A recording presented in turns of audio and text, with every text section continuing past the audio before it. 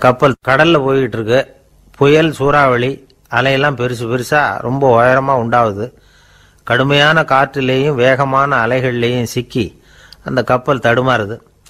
திசை மாறி போச்சு. எந்த பக்கம் போயிட்டு இருக்கிறோம்னே தெரியல. அந்த கப்பலை செலுத்திக்கிட்டு இருந்த மாலுமி ரொம்ப சாமர்த்தியமாக செயல்பட்டார். தன்னுடைய அறிவாற்றலையும் திறமையையும் முழுமையாக பயன்படுத்தினார். அந்த கப்பலை கட்டுப்படுத்தினார்.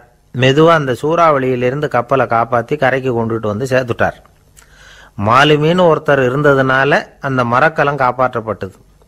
மாலுமின்னு ஒருத்தர் இல்லைன்னு வச்சுக்கோங்க அந்த கப்பலோட கதி என்னவா இருக்கும்? யோசிச்சு பாருங்க. ஒரு கோபக்காரனுடைய நிலைமையும் அப்படித்தானா? கோபக்காரன்கிறவன் ஒரு மாலுமி இல்லாத மரக்கலம் அப்படிங்கிறார் நபிகள் நாயகம்.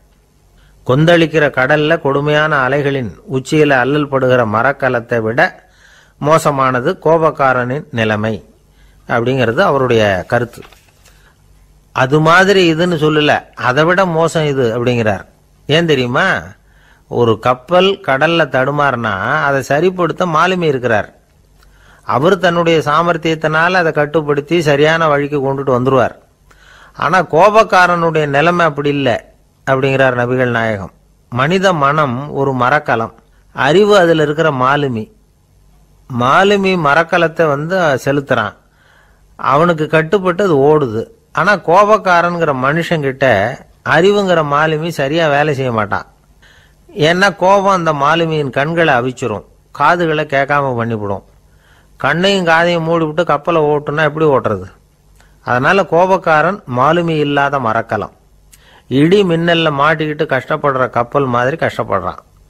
பெரியவங்கள்லாம் என்ன சொல்கிறாங்க உனக்கு கெடுதல் பண்ணவனுக்கும் நீ நன்மையே செய்.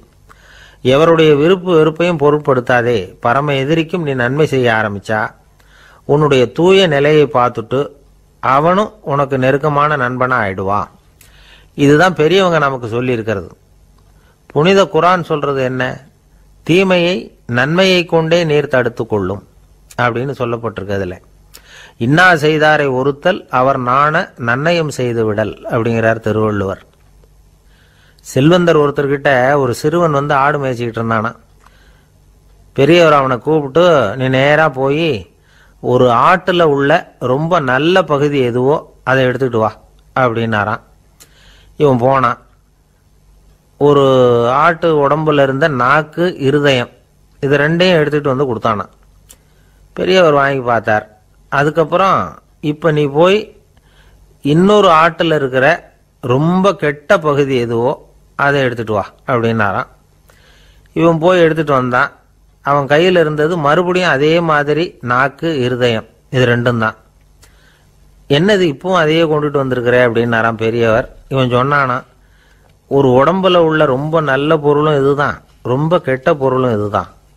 அப்படின்னு இளம் வயசுல இப்படி பதில் சொன்னவர் தான் பேரறிஞர் லுக்மானுல் ஹக்கீம் அவர்கள். கோபப்படாமல் இருந்தால் இது ரெண்டும் நல்லா வேலை செய்யும். கோவப்பட்டால் இது ரெண்டும் மோசமாக வேலை செய்யும். அதை புரிஞ்சுக்கிறதுக்காக தான் இன்றைக்கி இந்த தகவல்.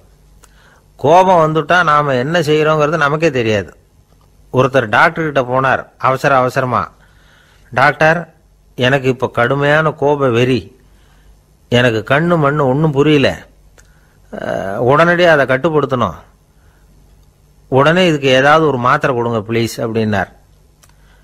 அந்த டாக்டரும் உடனே ஒரு மாத்திரையை கொடுத்து இதை உடனே போடுங்க நான் தண்ணி கொண்டுட்டு வரேன்னு உள்ளே போனார். தண்ணியோடு திரும்பி வந்தார். இவர் சொன்னார் டாக்டர் நீங்கள் கொடுத்த மாத்திரை ரொம்ப பெருசாக இருந்தது. இருந்தாலும் கஷ்டப்பட்டு முழுங்கிட்டேன்னார். டாக்டர் சந்தேகத்தோட மேசையை பார்க்குறார். பார்த்தா மாத்திரை அங்கேயே இருக்குது.